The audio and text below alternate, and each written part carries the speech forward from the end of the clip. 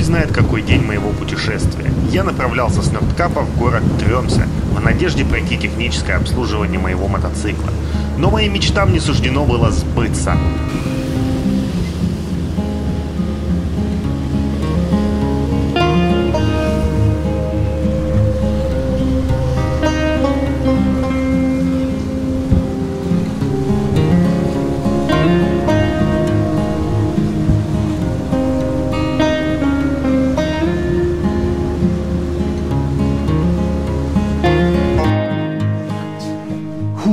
Приветствую всех. Пиздец, это какая-то подстава. Я думал, здесь сейчас в Тромсе э, сделаю обслуживание. Ну, с подписчиком договорились, вроде как он там узнавал, что меня примут, запчасти есть, все, ништяк, блядь. Приезжаю сейчас туда, приезжаю, они говорят, у нас механик в отпуске, блядь, на следующей неделе приходи. Без проблем, сделаем. Мне завтра уже ехать, я сюда на два дня, блядь, остался. Ебаный в рот. Ну ладно, у меня еще тысяча километров в запасе есть, чтобы вот прям до, до 24. Ну, дотяну там до куда-нибудь, до Бергена, допустим, или может быть ближе. Я с этим, с человеком, который там, ну, сидел в сервисе, это пообщался, попросил его, чтобы он, может быть, нашел для меня альтернативный сервис. Ну, потому что, ну, надо рано или поздно. Он попытался там позвонить в ближайшие города по пути у меня, но там что-то не отвечали, видимо, еще рано было, это было 8 утра. Соответственно, ну, после подъедь попозже, еще раз попробую дозвониться куда-нибудь. Ну, где-нибудь найдем что. В общем, такие дела, блядь. Что касается подписчика, с которым вроде, который вроде как приглашал, звал к себе в город, но я его до сих пор так и не видел, шифруется. Общаемся только исключительно через директ. А вообще он существует или нет, нафиг? Я уже начинаю сомневаться, блядь. Ну это реально подстава, блядь. Нахуй звать к себе в город, если у тебя тупо нет времени, блядь.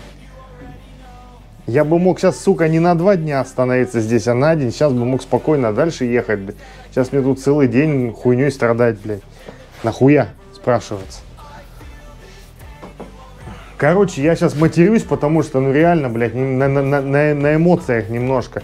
Поэтому вот ты, зритель, который смотрит и который сейчас будет писать комментарий, ой, как, блядь, он матерится, иди нахуй, блядь. Отпишись и, блядь, больше не заходи на этот канал. Просто я сейчас, сука, на эмоциях немножко. Потому что, блядь, я ехал сюда, я реально ожидал, ну я сюда с, какой-то определенной целью ехал. Я ожидал, что я здесь пройду ТО нормально, может резину поменяю, все дела.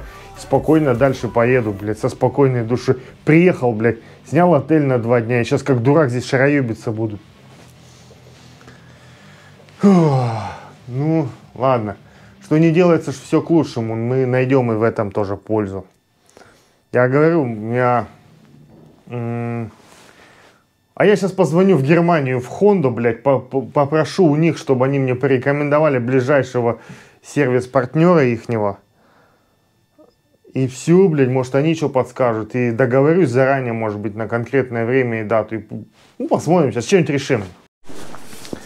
В общем, я сейчас нахожусь на шиномонтаже. Мне сейчас все-таки поменяют резину. Дело в том, что я поискал тут еще немножко. Нашел одну контору. Они предлагали мне Пирелли за 400 с чем-то евро. 440 евро предлагали. Потом они, ну, они не имеют права менять на мотоцикле, нет у них такой специальной лицензии, как мне объяснили. Они мне порекомендовали другую контору, позвонили за меня, там договорились, что я могу приехать, и они мне сразу все сделают. В общем, я приехал сюда, они мне буду сейчас ставить континенталь, какую конкретно я не знаю, ну, мне лишь бы какую поставили. И все это обойдется мне где-то в 500 евро, включая работу. Ну, согласитесь, блядь, 500 евро это намного меньше, чем 1000 евро. То есть в том, в первом сервисе, в мотосервисе, они мне только за работу 5000 крон заломили. Это то есть 500 евро. Только за работу, чтобы поменять. Плюс за резину, за каждое колесо там почти, почти 300 евро. Это пиздец полный. Как бы, ну 500 евро по сравнению с тем ценником выглядит намного поприятней. Потом заеду все-таки к тем деятелям, ну, хотя бы масло поменяю. Получается, у меня будет новые колеса, чистое масло. Так что до дома я доеду без проблем. Должен. А дома уже сделаю плановое регламентное ТО. Ну, придется сделать, что тебе. И все. Так что теперь моя душа немножко как бы спокойна. В общем, все, заменили мне резину. Сейчас я поеду, заменя, заменю масло и, в принципе, я думаю, на этом стоп, хватит. До дома доеду, дома уже сделаю нормальное плановое ТО и не буду париться. Сейчас я вам покажу, что за резину мне поставили. Немножко дизайн непривычный относительно того, что было. Было как-то более спортивное. Сейчас, ну не знаю, надо привыкнуть. Поставили мне Conti Attack 3. Ну, вроде как по отзывам резина неплохая. Обошлось мне все в 5500 крон. Это где-то 550 евро на наших, ну, вместе с работой. Ну, учитывая, где я нахожусь, я считаю, что это, в принципе, бюджетно, блядь, по сравнению с тем, сколько мне до этого залупили, блядь, тысячу евро там, получается, выходило вместе с работой. Короче, жесть. Так, вот у нее такой необычный протектор, немножко вообще непривычный. Надо будет какое-то время привыкнуть. Вон, видите, да? Конти Атак.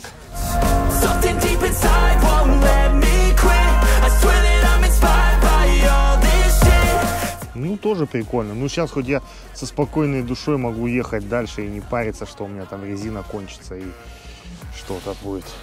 Посмотрим. Надо сейчас только осторожнее ехать, потому что новая. Интересно, какого года, блядь? Как читать-то? Упс. Ну ладно.